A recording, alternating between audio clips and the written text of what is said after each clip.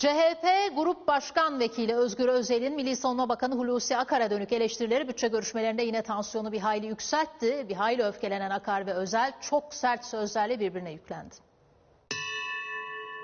Kafanızda tabanca varken hayır diyebilecek kaç kişi var?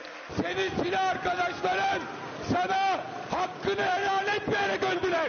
Hakkını helal etmeyerek öldüler. 49 yıl hizmet yaptım ben. 49 yıl. Keşke öyle bir genelkurmay başkanlığı yapmasaydınız. Olmaz olsaydı öyle genelkurmay başkanlığı. Keşke sizin gibi Atatürk'ümüzün partisinde bir grup başkan vekili olmasaydı.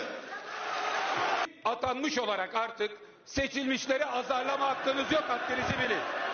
dakika başı atanmış, atanmış, atanmış diye bağırmanın bir anlamı yok. Bakan kardeşim bakan. CHP grubu yüklendi, Milli Savunma Bakanı cevap verdi. Bütçeye Özgür Özel Hulusi Akar tartışması damgasını vurdu. Atatürk'e Firavun diyen Nuri Pakdil'i ziyaretiniz grubunuzdan alkış alıyor. Biz de bu grubu alkışlıyoruz arkadaşlar. Şahsiyet yapılan bu konuşmayı başlangıçta kınıyorum. Sonunda kınıyorum, ortasında kınıyorum. şuursuz, ahlaksız, vicdansız bir iftiracıya gidip de ziyarette bulundunuz ya Sayın Bakan. Serumlu. Merhaba, geçmiş olsun dedik. Geçmiş olsun dedik, evet. Her şeye bir mazeretiniz var. Dinleyin, Değerli, değerli Dinleyin. Sayın, Sayın, Sayın Bakan, dinleyin.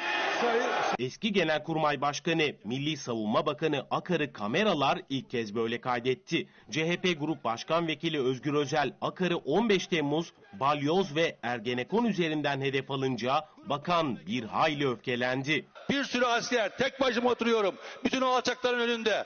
Önüme iki sayfa çıkardılar. Bunu okuyun, imzalayın dediler. İmzalamadım. Balyoz Ergenekon Sayın Bakan, mıntıka lütfen. temizliği yaptı.